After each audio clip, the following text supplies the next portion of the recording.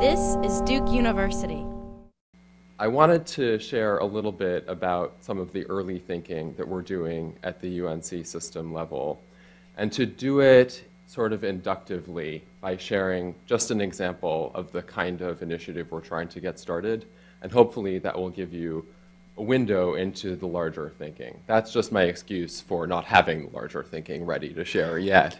Um, I've been in this role for two months. Um, and I think there's you know, a lot of work to do and a lot of catch up that we have to do. Um, but we're, we're um, I think, living in a moment of two competing extremist discourses about online learning and innovation.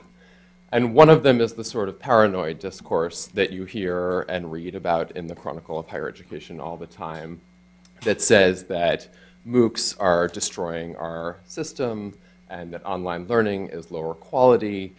We're going to turn all of our professor class into adjuncts, and on and on and on. The other is equally extreme in its naivete, in its optimism, in its Pollyannish view that we can solve all of the problems of higher education, all of the access problems, all the cost problems, Baumol's cost disease, on and on.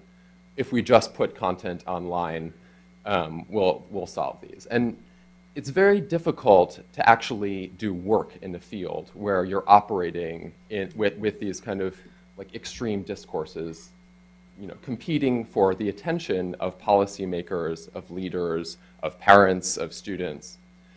So the way I approach, you know, this challenge is to actually like start working, to get into the weeds and start building and to bring a kind of learn by doing approach into the way we run the university system that I think is somewhat new and somewhat original. Um, I think, you know, in, on panels like this, you'll often hear about great new applications and great new tools and what, you know, what's coming out of Silicon Valley or American Underground or whatever. And the way I think about this, what we need really most badly from the technology community is not necessarily the tools or the code or the software, it's the methodology by which that software is made. And this goes under several names.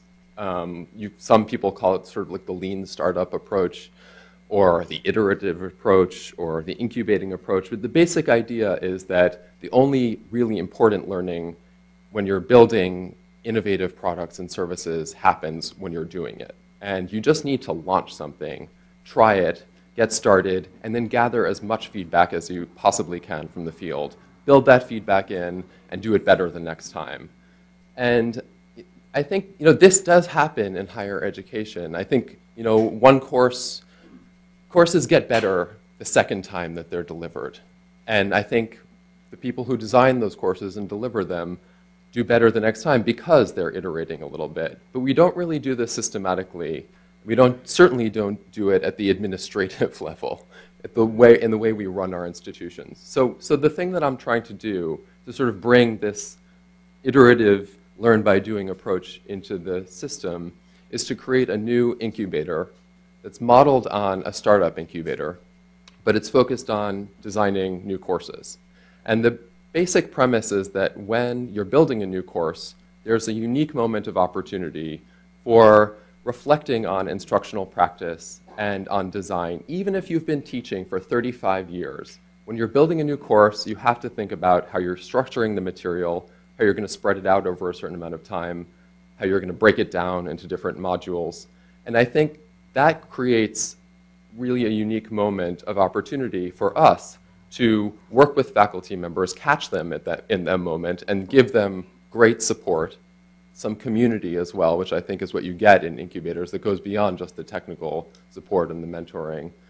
Um, and what we're going to do is bring together a group of faculty from across our 17 institutions this summer and support them in a fellowship program that won't just fund them, but will create that community and hopefully give them that, that kind of a flavor of that iterative approach that comes from the startup world and build great courses together. Um, and they're not going to be perfect, and the program is not going to be perfect, but we'll do it better the next time.